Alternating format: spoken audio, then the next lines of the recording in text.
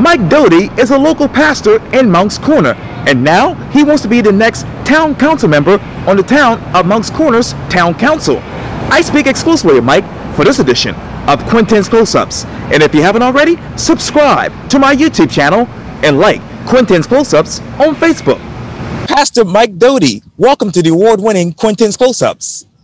Thank you. Thank you for having me, Quintin. Oh, you're very welcome. I know you're extremely busy, so thank you so much for your time.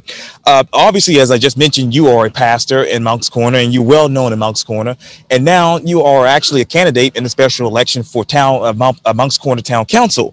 And I went back on your Facebook page, in which you posted this a couple of days ago. You said this quote: "In six days, the town of Moncks Corner is held holding a special election to fill a vacated seat on town council."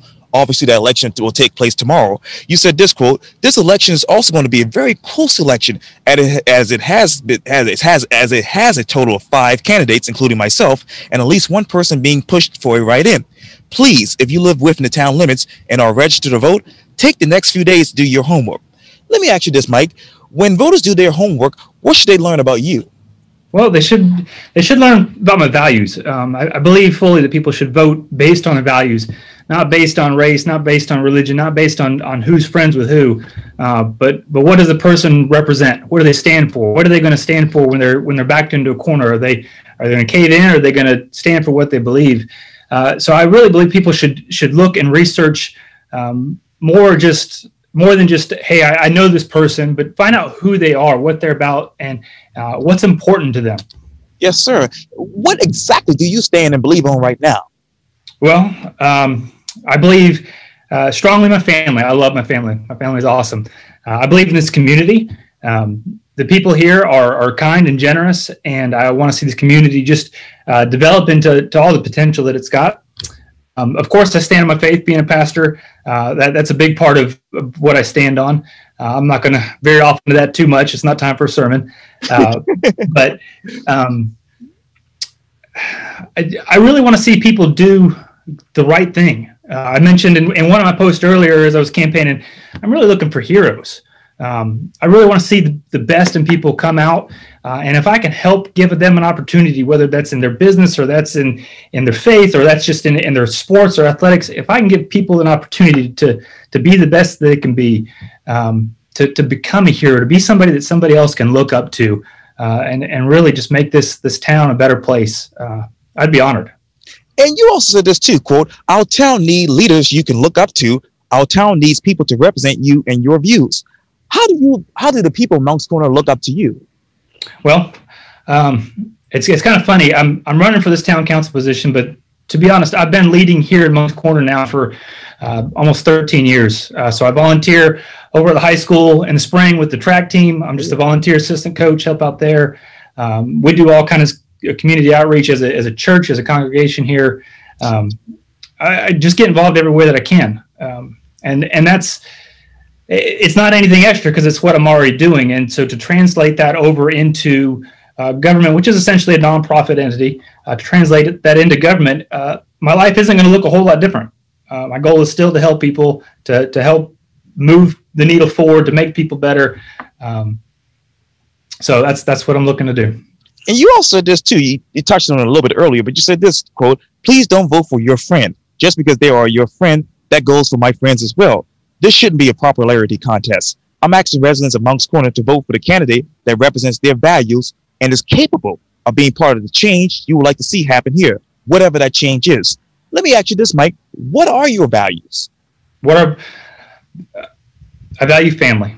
I value doing the right thing. Um, I value uh, growth. Um, I value, um, and when I say growth, that, has been a hot topic here in, in the town of Moncks Corner. Uh, we, we definitely want to keep that small hometown feel. I think everybody loves how how quaint it is. It's just got this nice southern charm.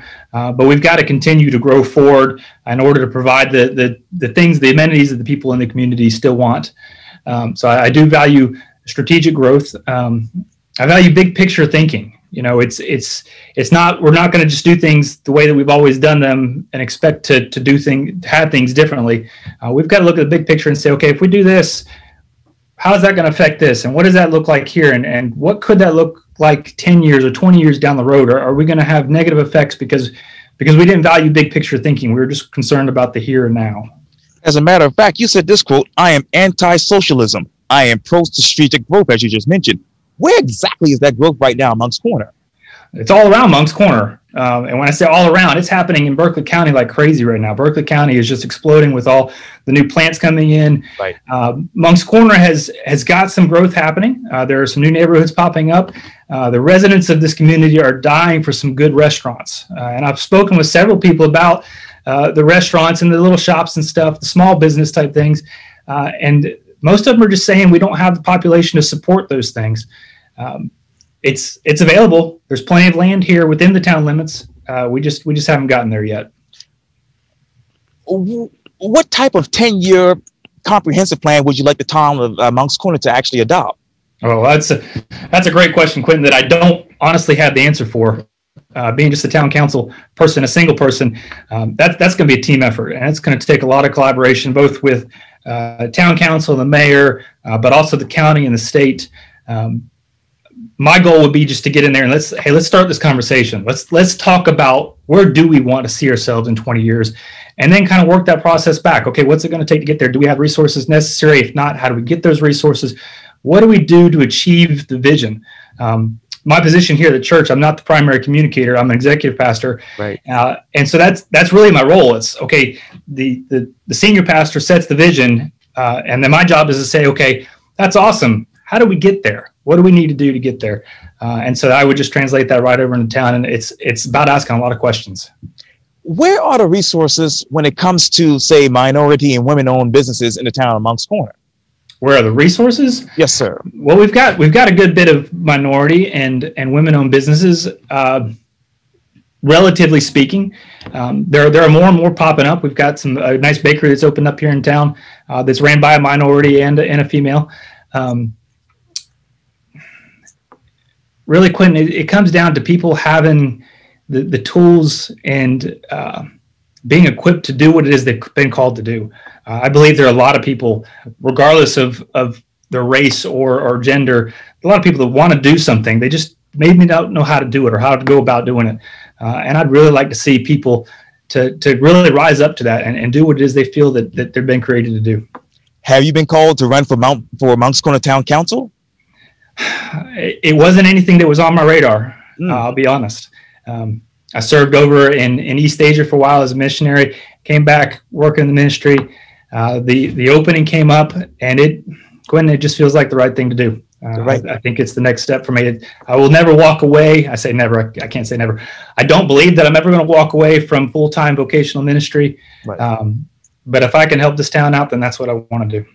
As a matter of fact, you said this quote I am pro Bible, pro birth, and pro family. I believe in the freedom of all religion. However, I believe a profession of faith in Jesus Christ as the only way to true salvation.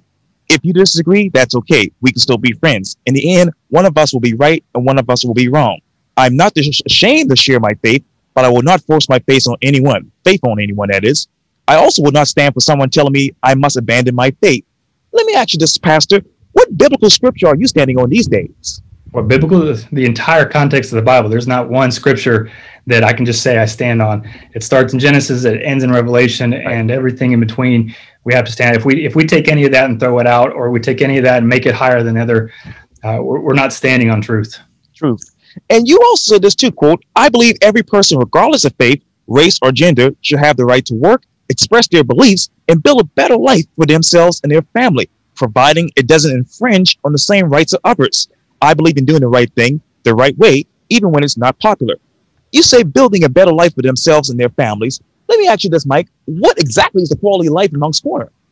Quality of life in Moncks Corner is actually pretty good. Now, the income level is, is probably lower than a lot of the surrounding area. Um, but as I said, it's it's an amazing community. And I feel like most people here um, are, are at least happy. You know, they, they may not have everything. Um, the, the amount of free and reduced lunches here in this area is, is pretty high. Um, but when you drive through the community, when you go to a football game on Friday night, uh, people are smiling. Uh, people are having a good time. Uh, regardless of, of, of, race, you can walk in the store and, and people people will say hello, and it's it's not a big deal. This community is is awesome in that way. Um, so the way I would measure quality of life, we've, we've got a pretty good standard. Uh, and you, you know, you talk about that income level. This might be an interesting or off the topic question, but with that income level, the way it is right now, how, as far as tax revenue, how much has the town of Moncks Corner lost in the past four years? How much have they lost in the past four years? Yes, sir. Uh, elaborate on that a little bit. Tax as revenue. As, tax as revenue. far as yes, sir. potential tax revenue, or how, the how much? In the past. I'm not following you, Quintin. Okay. Let's let me talk again about it. Tax revenue. How much has it, the city, uh, the town of Moncks Corner lost in the past four years, as far as obviously businesses and other entities? Okay. Um, so you're talking about potential tax revenue. Am I correct? You, yeah, we can talk about that as well. Okay.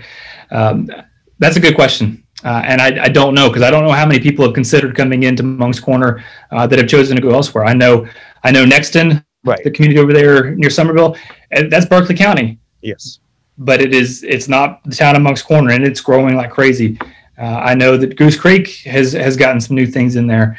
Uh, but as far as as tax revenue in Moncks Corner, we we definitely are not growing at a, a a pace that's keeping up with the rest of the area.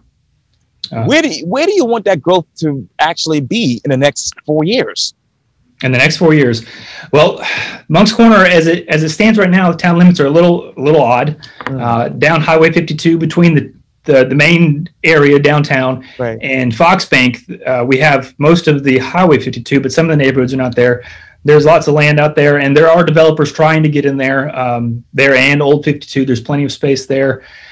Um, you know, a lot of the a lot of the concern is how do we deal with traffic, and traffic is always an issue. Nobody really wants to see this place become as bogged down as, as say Summerville or North Charleston. Uh, but there, there's definitely room for residential growth there.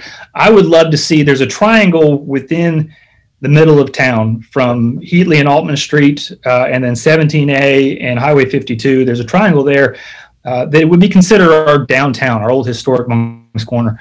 Uh, I would love to see a nice eclectic mix of of some sh- small shops, uh, good quality, um, mom and pop owned restaurants. Uh, that, that people can go and, and walk down the street in the evenings, enjoy enjoy the summertime here, enjoy the fall. Um, I I would love to see some some new kind of growth there in that area, um, and, and keep that small town charm that we that we have. And what exactly is your relationship in the community? What is my relationship in the community? I, you'd have to ask the community, Quintin. Um, I, I love living in this town, and I, I don't think I've got too many enemies out there. Uh, but but you'd have to ask around. yes, sir. and you talk about obviously the mom and pop shops that you would like to have in the town Mount, amongst Corner and a half. that still that small town feel even in 2020, 2021. What ex- what type of connectivity plan would you have? Um, elaborate again a little bit, Quintin. What, Yeah, what that you- con- connectivity plan. What type of economic development plan would you have? Again, that's that's going to have to be a team effort, and I could I could throw ideas out there, uh, but until I get in there, uh, one thing I learned about leadership, Quintin, is that you can you can armchair quarterback all day long, and until you're in there and you're in the trenches dealing with with everybody and everything, um, I, the things I could say are could be totally off base. Uh, so I, I don't want to tell you this is what I would do. Uh, because until I get in there, I can't tell you exactly what I want to do. Pastor Mike Doty, thank you so much for your time. And again, welcome to the award winning Quintin's Close Ups. Awesome. Thank you, sir. Have a good afternoon. Thank you.